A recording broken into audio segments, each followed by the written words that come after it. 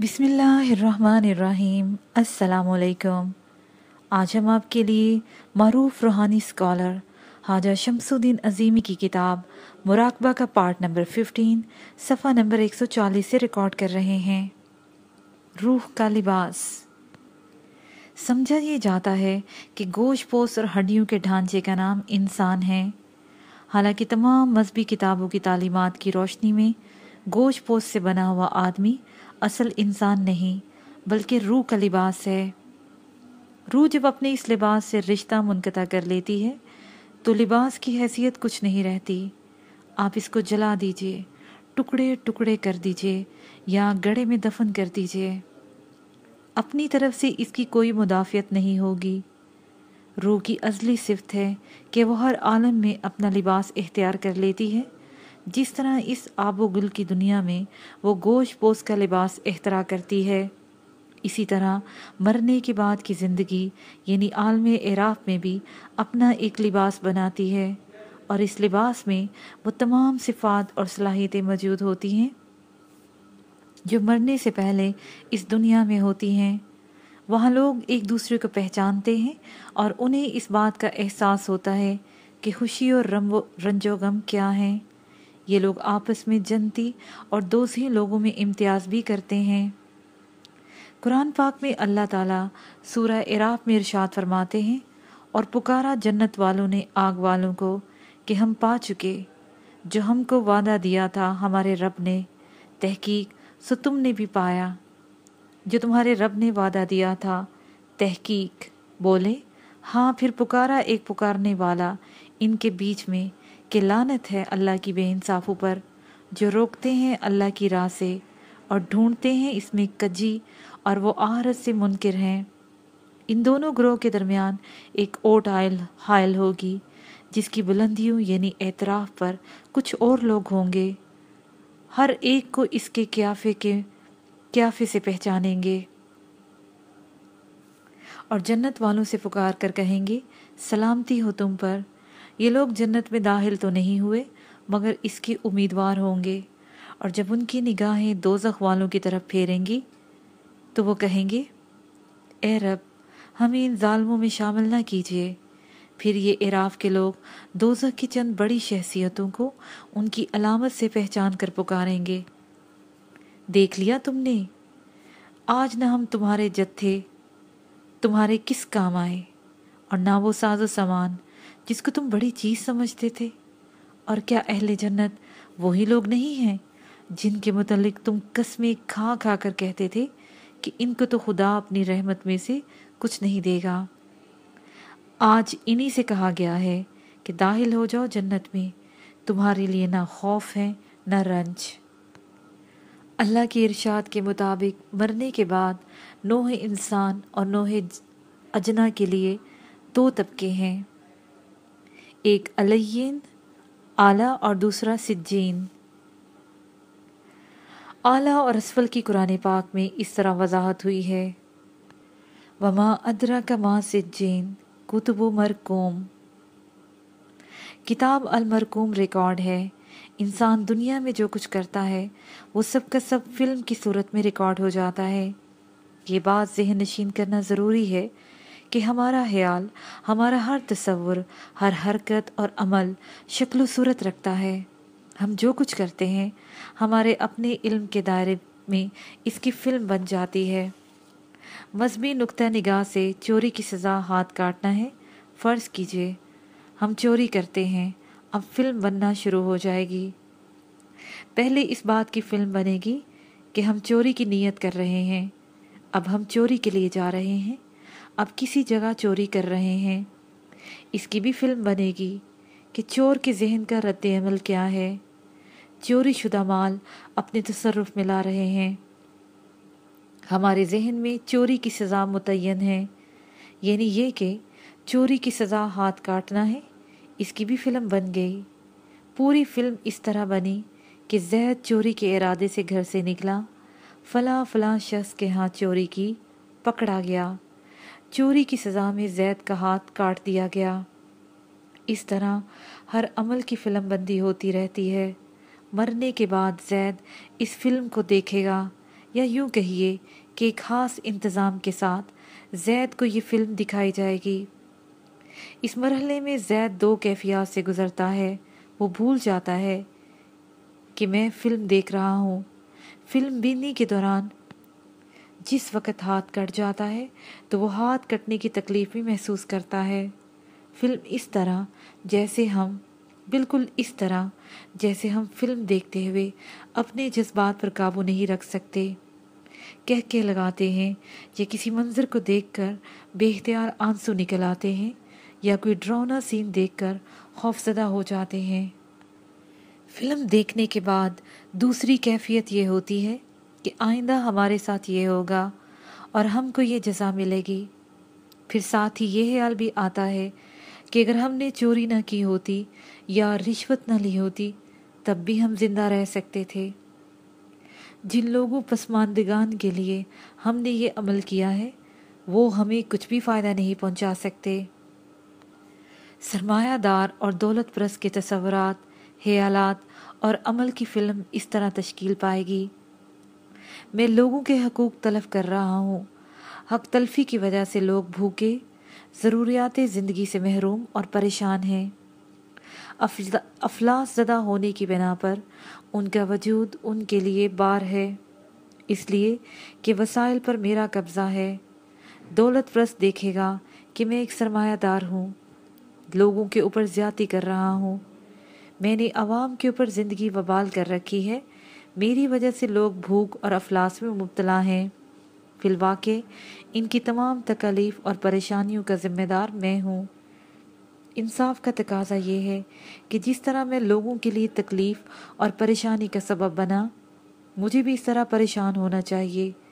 जैसे ही ये ख्याल आएगा, मैं खुद को फ़िल्म में मुफलिस, कलाश, परेशान हाल, मुस्तरब और बेचैन देखेगा। चीहेगा चिल्लाएगा करबनाक हालत में इधर से उधर चक्कर लगाएगा और कोई परेशान हाल नहीं होगा। हातिफ गैबी। कायनात एक इज्तमाही फ़हम रखती है। हर ज़र्रे, सितारे, सियारे, चरिन परिंद हैवान, इंसान, जन्नात और फरिश्ते, सबको ज़िंदगी की तहरीकात एक ऐसे शौर से मिलती हैं जो अपने अंदर कायनात की मालूमात का पूरा पूरा इल्म रखता है। दौर जदीद की ज़ुबान में इसकी मिसाल एक ऐसे कंप्यूटर की है, जिसमें कायनात का मुकम्मल रिकॉर्ड मौजूद है। मुराकबे के ज़रिए इस शौर से रबता कायम किया जा सकता है। इस शौर से रबते का एक ज़रिया आवाज़ है। इस आवाज़ को इस्तलाहन हातफ गैबी कहते हैं, जिसके मानी गैब का पुकारने वाला है। ये आवाज़ कायनात में हर वक्त दौर करती रहती है और कोई शख्स जिसका जहन मरकज़ियत कायम करने की सलाहियत रखता है और आलाइश से पाक है मतवजा होकर उसे सुन सकता है। सवाल करे तो जवाब पा सकता है, कायनात में सबसे पहले आवाज़ का जहूर होता है, इंसानी हवास में सबसे पहले समात का मुजाहरा मुजाहरा होता है, समात हरकत में आती है तो समात के साथ ही बसारत का एक नुक्ता ठहराव करार पाता है। और कोई शख्स आवाज़ में मौजूद इल्म को देखता है, उसके बाद शाम, शामा और लामसा के हिस्से तरतीब पाती हैं। इस मरहले पर दायरा मुकम्मल हो जाता है। गोया इंसान जो कुछ देखता और महसूस करता है, वो आवाज़ की तोसी शक्लें और इजाफी तहरीकात हैं। इस मरहले पर दायरा मुकम्मल हो जाता है। गोया इंसान जो कुछ देखता और महसूस करता है, वो आवाज़ की तोसी, शक्लें और इजाफी तशरीहत हैं। कुरान पाक के मजदाक सबसे पहले कन की सज़ा बुलंद हुई और कायनात पूरी तफसीलात के साथ जहूर में आ गई। लेकिन महलूक को उस वक़्त तक हवास हासिल नहीं हुए थे। हालिक ने महलूक को मुहातब किया और कहा क्या नहीं हूँ मैं तुम्हारा रब? इस आवाज़ ने महलूक को निगाह अता की और बसारत की कुवत अमल में आ गई। बसारत के साथ ही दूसरे हवास मुतहरक हो गए और महलूक ने देख और समझकर इकरार किया कि बेशक आप ही हमारे पैदा करने वाले हैं। तमाम मजाहब आवाज़ को अवलियत देते हैं। इंजील में दर्ज है कि खुदा ने कहा, रोशनी हो जाए और रोशनी हो गई। हिंदू मज़हब में ओम की आवाज़ को सबसे मुकद्दस ख्याल किया जाता है। हिंदू फुकरा कहते हैं कि आकाश और धरती और उसके दरमियान जो कुछ है, वो सब ओम की बाजगश्त है। उनका कहना है कि कायनात में एक आवाज़ मुसलसल दौर कर रही है और आवाज़ का नाम वो आकाशवाणी, यानी आसमानी सदा रखते हैं। सूफिया भी गैबी आवाज़ का तस्करा करते हैं, जो सोत सरमदी, यानी खुदाई आवाज़ कहलाती है। इसी आवाज़ से ओलिया अल्लाह पर इल्हाम होता है। हातब गैबी सुनने का तरीका यह है। मुराकबे की नशिश में बैठकर दोनों कानों के सुराहों को रुई के फोहे से बंद किया जाए। अब अपने बातन की तरफ़ मुतवजा होकर एक ऐसी आवाज़ का तस्वर किया जाए, जो मदरजा झैल किसी आवाज़ से मुशाबत रखती हो। एक, मीठी और सुरीली घंटियों की आवाज़। दो, शहद की मक्खियों की बिन बनाहट। तीन, पानी के झरने की आवाज़, यानी वो आवाज़ जो पानी की सतह पर, पानी के गिरने या पत्थरों पर पानी के गिरने से पैदा होती है। चार, बांसुरी की आवाज़। साहब मराकबा जब मुसलसल इस आवाज़ पर मरकूज़ रखता है। तो कान आवाज़, कान में आवाज़ आने लगती है। आवाज़ मुख्तलिफ़ अंदाज और तर्जु में सुनाई देती है। वक्त गुजरने के साथ आवाज़ में अल्फाज और जुमले भी सुनाई देते हैं। आवाज़ के ज़रिए साब मुराकबा पुरस्रार, रमूज, मुनकशिफ होते हैं। गैबी वाक़ात का कशफ और आलम वाला से रबता कायम हो जाता है। जब साहब मुराकबा मशक में महारत हासिल कर लेता है तो गैबी आवाज़ से गुफ्तु की नौबत आ जाती है और वो आवाज़ से सवाल जवाब भी करता है। हातिफ गैबी से सवाल जवाब का तरीका ये है, जब कोई शख्स इस काबिल हो जाता है कि हातिफ गैबी को सुन सके तो अजहुद सवाल करने और जवाब हासिल करने की सलाहियत भी इसके अंदर बेदार हो जाती है। तहम अमली तौर पर इसका तरीका ये है, जो बात पूछनी हो उसको जहन में एक बार दोहराएँ। फिर मुराकबा की हालत में बैठकर हाथ गैबी की तरफ़ तवज्जा करें और मुसलसल ध्यान कायम रखें। इस वक्त सवाल को जहन में ना लाएँ, सिर्फ़ तवज्जा, हाथ गैबी की तरफ़ मरकूज रखें। जहनी यकसोई और दिमागी ताकत की मुनासबत से जल्द ही आवाज़ के ज़रिए जवाब जहन में आ जाता है। तफहीम। अल्लाह ताला के इसमें अलीम को एक खसूसियत हासिल है। अलीम के मायने है इल्म रखने वाला। अलीम की नस्बत से इंसान को तमाम अलूम मुंतकिल होते हैं। अलूम की बसात इसमाय इलाही का इल्म है। किसी इसम का सबसे पहला मुजारा तजल्ली कहलाता है। तजल्ली एक नक्श है, जो अपने अंदर मुकम्मल मानवीयत के साथ साथ हदोहाल और हरकत रखती है। तमाम असमा या सफ़ात की तजलियाँ इंसान की रूह के अंदर नक्श हैं। ये नकूश एक तरह का रिकॉर्ड है। किसी माइक्रो इल्म की मानद इंसान की रूह में असमा के तमाम नकूश मौजूद हैं। अगर इंसान इसमें अलीम की नस्बत को बेदार कर ले तो वो तमाम असमा की तजलियात का मुशाह कर सकता है। ये नस्बत एक याददाश्त है। अगर कोई शख्स मुराकबे के ज़रिए इस याददाश्त को पढ़ने की कोशिश करे तो इदराक, दरूद या शहूद में पढ़ सकता है।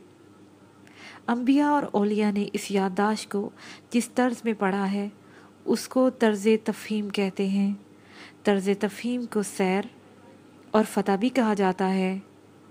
तफ़हीम के मानी है किसी चीज़ की फ़हम बेदार करना या फ़हम हासिल करना, चनाचे तफ़हीम के मराकबे से असमाय सफ़ात का इल्म और वो फार्मूले मुनकशिफ होते हैं जिनसे कायनात वजूद में आई है।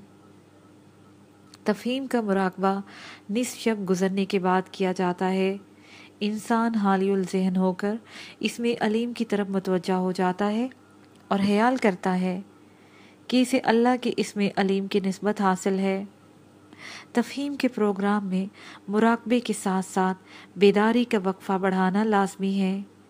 तर्ज तफहीम में दिन रात के 24 घंटों में एक घंटा, दो घंटे या ज़्यादा से ज़्यादा ढाई घंटे सोने की इजाज़त है। मुसलसल बेदार रहने से इसमें अलीम अपनी पूरी तवानाई से मुतहरक हो जाता है।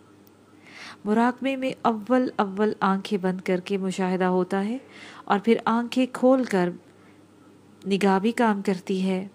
जब बंद आँखों के सामने नक्शो निगार आते हैं तो इस हालत को दरूद कहा जाता है और जब खुली आँखों से मुशाहिदा होता है तो उसको शहूद कहते हैं। रूहानी सैर, मुसलसल मुराकबा और उस्ताद की तवज्जो और निगरानी के नतीजे में शागिर्द के अंदर रोशनी का जहीरा हो जाता है। और शौर का आईना साफ़ हो जाता है। इस वक्त शागिर्द की रूहानी सैर शुरू हो जाती है। इस सैर के दो मरातब और मदारज हैं। पहले मरतबे में आदमी तमाम मुशाहदात और इंकशाफात को इस शौर के साथ देखता है कि वो बात दूरी में वाक़ हो। यहाँ तक कि वो अर्श तक पहुँच जाता है और अर्श पर तजल्ली सफ़ात की नेमत से सरफराज होता है। इस तर्ज मुशाहदा को सैर आफाक कहते हैं। जब सैर आफाकी पूरी हो जाती है और तालब इलम पर अल्लाह का फजल करम होता है तो सैर अनफुस शुरू होती है। इस दर्जे में वारदातों मुशाहदात का एक ऐसा सिलसिला शुरू होता है, जिसमें कोई शख्स तमाम आलम को अपने नुक़ ज़ात का हिस्सा देखता है और मौजूदात ज़ात के अंदर नज़र आती हैं। अहले अल्लाह इस तर्ज इदराक को सैर अनफुस कहते हैं। सैर अनफुस की इंतहा पर आरफ बिर अल्लाह अल्लाह को तजल्ली की सूरत में वराए अर्श देखता है। कुरान पाक की इन दो आयात में सैर अनफुस की तरफ़ इशारा किया गया है। एक, वो तुम्हारे नफ्सों में है, क्या तुम देखते नहीं? दो हम बहुत जल्द दिखाएँगे अपनी निशानियाँ, आफाक और अनफुस में। यहाँ तक कि खुल जाएगा उन पर हक। पारा नंबर पच्चीस, आयत नंबर एक। जब कोई शख्स इस दर्जे पर पहुँच जाता है कि इसकी बातनी नज़र मुतहरिक हो जाए तो इससे ये मुराकबा कराया जाता है कि तमाम आलम एक आयना है, जिस पर अनवार इलाही का अक्स पड़ रहा है। इस तस्वुर के ज़रिए सैर अफाकी शुरू हो जाती है। अगले मरहले में ये तस्वुर किया जाता है कि साहब मुराकबा ख़ुद एक आयना है, जिसमें अनवार सिफ़ात इलाही पर अक्स पड़ रहा है। ये तस्वुर सैर अनफुस की इब्तदा करता है। इस सैर की इंतहा पर अपने अंदर मौजूद आयने की भी नफ़ी कर दी जाती है, ताकि ज़ात बारी ताला का इदराक कमाल को पहुँच जाए। एक तरीका यह भी है कि तालब इलम पहले ये तस्वुर करता है कि इसका कल्ब अर्श से एक नस्बत ताल्लुक़ रखता है। चुनाचे साहब मराकबा अरूज करता हुआ अर्श तक पहुँच जाता है। अगले मरहले में दो मुराकबा में और चलते फिर अगले मरहले में, वो मुराकबा में और चलते फिरते इन आयात कुरानी का तस्वुर अपने ऊपर मुहित कर देता है कि एक वो तुम्हारे साथ है। तुम जहाँ कहीं भी हो, दो, वो तुम्हारी रगो जहाँ से भी ज़्यादा करीब है। तीन, वो तुम्हारे नफ्सों के अंदर है। क्या तुम नहीं देखते? कुरान। मुराकबा कल्ब। रूहानियत के मुताबिक कायनात एक जहत में नुक्ते की हैसियत रखती है। यानी कायनात की तमाम मौजूदात एक नुक्ते के अंदर बंद हैं। नुक्ते के अंदर कायनात की मौजूदगी माइक्रोफिल्म की तरह है। माइक्रोफिल्म में तस्वीर, शक्लें, एक मुतसर सी स्पेस में मुकैद कर दी जाती हैं। इसी तरह कायनाती नुक्ते में मज़ाहिर नक्श है। जब यह नुक्ता हरकत में आता है तो फैल कर कायनात का मुजाहरा करता है। इसकी दूसरी मिसाल किसी दरख्त के बीज की है। नन्हे मुन्ने बीज में, जिसकी हैसियत एक नुक्ते से ज़्यादा नहीं है, दरख्त की पूरी ज़िंदगी, पत्ते फल फूल शाहें और आने वाली नस्ल के तमाम दरख्त महफूज होते हैं। यही बीज नशरमा हरकत पाकर दरख्त की शक्ल एहतियार कर लेता है। रूहानी अलूम में इस नुक्ते को, जिसमें सारी कायनात यकजा सूरत में मौजूद है, कलब, फवाद और नफ्स वाहदा के नाम से याद किया जाता है। मुराकबा कल्ब के ज़रिए इस नुक्ते की गहराई में उतरने का तरीका ये है। मुर्शद करीम की हदायत पर अमल करते हुए आँखें बंद करके अपने दिल के अंदर झांकें और निगाह तस्वुर से ये देखें कि दिल में एक स्या नुकता है। कुछ अरसे बाद नुक्ते का तस्वुर कायम हो जाता है। उस वक़्त जहन को नुक्ते की गहराई में दाखिल किया जाए। आहिस्ता आहिस्ता जहन नुक्ते की गहराई में दाखिल होता है और जिस मुनासबत से गहराई वाक़ होती है, नुक्ते के अंदर की दुनिया नज़र आने लगती है। मुराकबा वहदत, कायनात की किसी हरकत का मुताला किया जाए तो उसमें एक नज़म ज़ब्त मिलता है। इस नज़म ज़ब्त की वजह से तमाम अफ़ाल में तरतीब व तनासब मौजूद है। मसलन, बच्चा एक मुन शक्ल सूरत में पैदा होता है और एक महसूस रफ्तार के साथ नशुनमा पाकर लड़कपन, जवानी और फिर बुढ़ापे में दाखिल हो जाता है। जमादात और नबातात भी मुन फार्मूलों के तहत ज़िंदगी गुजार रहे हैं। सितारों और सियारों की हर हरकत कशिश के खास निज़ाम की पाबंद है। जितने सियारे फना हुए हैं कमो बेश इतने ही तहलीक हो जाते हैं। पैदा होने वाले से पहले और पैदाइश के बाद कुदरत तमाम महलूक़ात के लिए वसाइल के इंतज़ाम कर देती है। पानी बुहरात की शक्ल में तब्दील होकर बादल बनता है और बादल खुशकी पर पानी बनकर बरस जाते हैं। ये पानी ज़िंदगी की नमू में काम आता है और बाकी ज़मीन के नीचे जमा हो जाता है या नदी नाले और दरिया बनकर वापस समुंदर से मिल जाता है। ये मिसालें इस बात को ज़ाहिर करती हैं कि कायनात के निज़ाम में एक कंट्रोल है। इसकी हकीकी वजह यह है कि निज़ाम आलम के पीछे एक जहन या एक अकाई काम कर रही है। इसी जहन की डोर हिलने से कायनात के तमाम पुरजे हरकत करते हैं। इस हकीकत को तोहीद अफ़ाली कहा जाता है, जिसका मतलब ये है कि तमाम अफ़ाल में एक वहदत मौजूद है, जिस पर शख्स पर तोहीद अफ़ाली मुनकशिफ होती है, वो ये मुशाह कर लेता है। कि नूरानी दुनिया के पसपर्दा गैब में एक तहकीक मौजूद है। इस तह, इस तहक़ के इशारे पर आलम महफ़ी की दुनिया काम कर रही है और आलम महफी के अमाल और हरकत का साया कायनात है। ऐसा शख्स इस काबिल हो जाता है कि वो एक हरकत को दूसरी हरकत से मरबूत कर सके। यानी दो मुख्तलिफ़ हरकत का बाहमी रिश्ता इस पर ज़ाहिर हो जाता है। वो किसी भी हरकत का ताल्लुक इस जहन से मिला सकता है, जो कायनात को चला रहा है। तोहीद अफ़ाली के मुराकबे में ये तस्वुर किया जाता है कि निज़ाम आलम के अंदर एक वहदत है, और इस वहदत का तशखस एक नूर है, जो तमाम आलम का अहाता किए हुए है। ला का मुराकबा, ला के मानी नहीं या नफ़ी के हैं। ला अल्लाह की एक सिफ्त के अनवार का नाम है। ऐसी सिफ्त जिसका तजिया हम ज़ात इंसानी में कर सकते हैं। यही सिर्फ़ इंसान का लाशौर है। अमूमी तर्जों में लाशौर इमाल, अमाल की ऐसी बुनियादों को करार दिया जाता है, जिनका इल्म अकल इंसानी को नहीं होता। अगर हम किसी ऐसी बुनियाद की तरफ़ पूरे गौर फ़िक्र से मायल हो जाएँ, जिसको हम या तो नहीं समझते हैं या समझते हैं। तो उसकी मानवियत और महफूम हमारे जहन में सिर्फ़ ला की होती है। ये नहीं हम इसको सिर्फ़ नफ़ी तस्वर करते हैं। हर इब्तदा का कानून एक ही है और वो ये है कि हम जब इब्तदा की मानवियत से बहस करते हैं या अपने जहनी मफहूम में किसी चीज़ की इब्तदा को समझने की कोशिश करते हैं तो इस वक्त हमारे तस्वुर की गहराइयों में सिर्फ़ ला का महफूम होता है।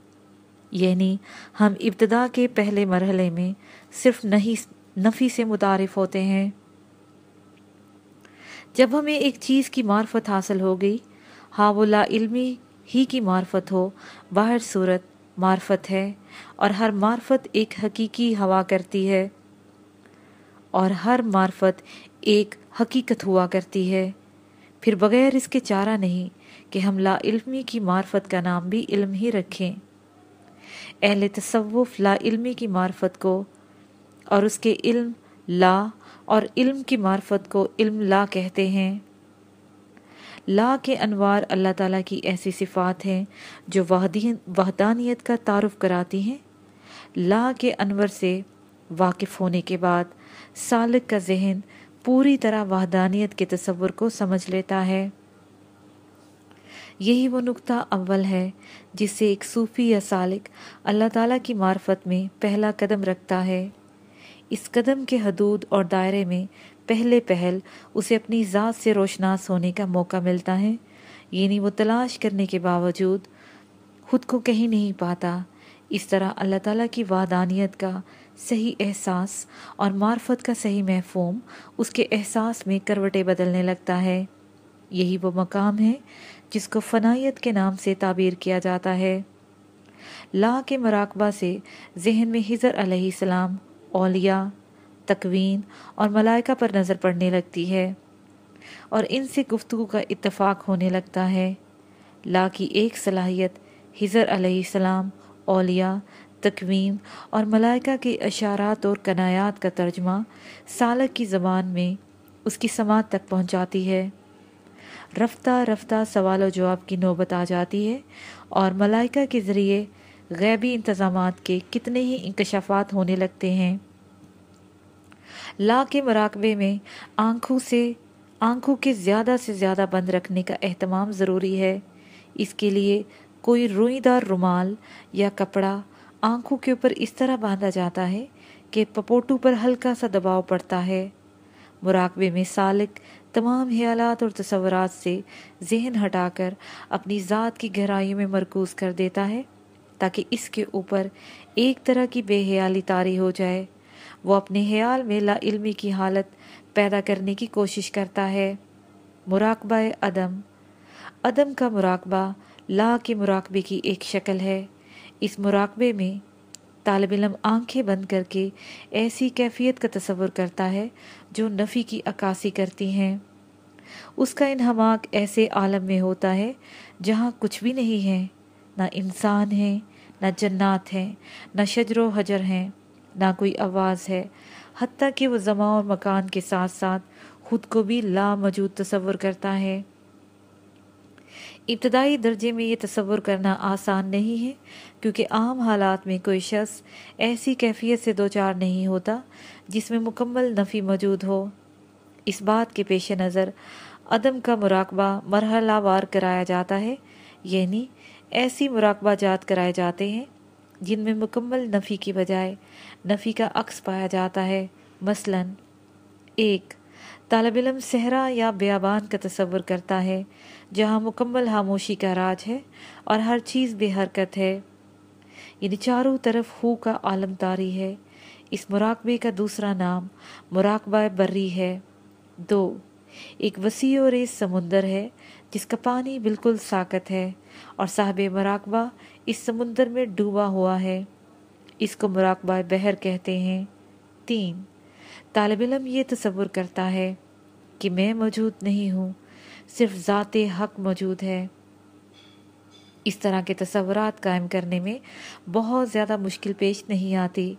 जब ये मराहल अबूर हो जाते हैं तो मुराकबा अदम का असल तस्वुर तलकीन किया जाता है। मुराकबा अदम के ज़रिए तालब इलम पर वो कैफियत तारी होने लगती हैं, जो शौरी वारदात के बरक्स हैं। जब शौरी वारदात की नफ़ी हो जाती है तो लाशौरी कैफियत में सफ़र होना शुरू हो जाता है। वाजिया रहे कि अदम से मुराद ऐसी दुनिया नहीं है, जिसमें किसी चीज़ का वजूद नहीं, बल्कि अदम से मुराद वो दुनिया है, जिसमें लाशौर के ज़रिए सफ़र होता है। फ़ना का मुराकबा। जब कोई शख्स मजमून लिखने बैठता है तो उसके जहन में पहले पहल एक उनवान होता है। लेकिन इस उनवान की तरतीब व तफसील इसके जहन में नहीं होती। जब वो कागज़ कलम संभाल कर जहन को हरकत देता है तो मजमून की तफसील मुरतब होने लगती है। जो कुछ वो लिखता है, वो मफहूम और मानवीयत के अतबार से इसके लाशौर में पहले से मौजूद होता है। इसी जहीरे से यह मफहम तफसीली हदोहाल एख्तियार करके अल्फाज का जामा पहन लेता है। मजमून में कोई बात ऐसी नहीं होती जो मफहम और मानी में, साहब मजमून के लाशौर में मौजूद ना हो। अगर ये मौजूदगी ना हो तो मजमून अल्फाज की शक्ल सूरत एख्तियार नहीं कर सकता। इस तरह मजमून के तीन तयनत कायम होते हैं।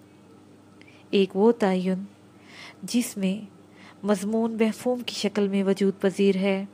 दूसरा वो तयन जहाँ अल्फाज की सूरत में मुतशक्ल होता है, और तीसरा वो तयन जहाँ कलम अल्फाज को कागज़ पर लिख कर मादी हदोहाल बहशता है। जिस तरह मजमून की तीन हैसियतें हैं, और मजमून मादी शक्ल सूरत एख्तियार करने में तीन मराहल से गुज़रता है, इसी तरह तमाम मुजाहरात तीन जगह मौजूद होते हैं। कोई भी वजूद या कोई भी हरकत चाहे, इसका ताल्लुक माजी से हो, हाल से हो, या इसका रिश्ता मुस्तकबिल से हो, वो इन तीन ताबनात से बाहर नहीं है। इस बात की मज़ीद वजाहत के लिए मुसविर की मिसाल दी जाती है। एक मुसविर कागज़ पर कबूतर की तस्वीर बनाता है, वो दूसरी तस्वीर बनाता, बनाना चाहे तो फिर बना सकता है। वजह यह है कि तस्वीर का इल्म उसके जहन में महफूज है। कागज़ पर सिर्फ़ तस्वीर का अक्स मुंतकिल होता है। असल तस्वीर मुंतकिल नहीं होती। इस तरह वो जितनी चाहे तस्वीरें बना सकता है। लेकिन तस्वीर का इल्म फिर भी उसके जहन से जुदा नहीं होता। कोई भी इल्म, कोई भी हरकत, कोई भी मज़र जिस जगह मफहम और मानवी हदोहाल में मौजूद है, उसे आलम तमसाल कहते हैं। आलम तमसाल में भी हर मज़र नकूश और हदुहाल रखता है। इन हदुहाल को रूह की आँख देखती है। अगर इंसान मुराकबे के ज़रिए इन हदुहाल या इन नफूस को समझने की कोशिश करे तो इसका शौर इन इतबाया नकूश को मालूम करने में कामयाब हो जाता है।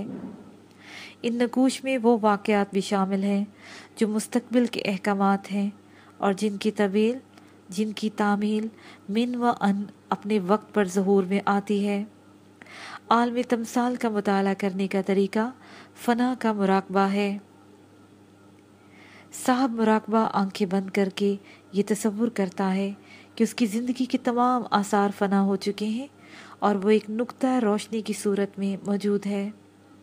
वो ये ख्याल अपने जहन में मुस्तहकम करता है कि वो अपनी ज़ात की दुनिया से बिल्कुल आज़ाद है और उसका ताल्लुक सिर्फ़ उस दुनिया से बाकी है जिसके अहाते में अज़ल से अब तक की सरगर्मियाँ मौजूद हैं। इसके साथ ही ये पार्ट अपने अहतमाम को पहुँचा।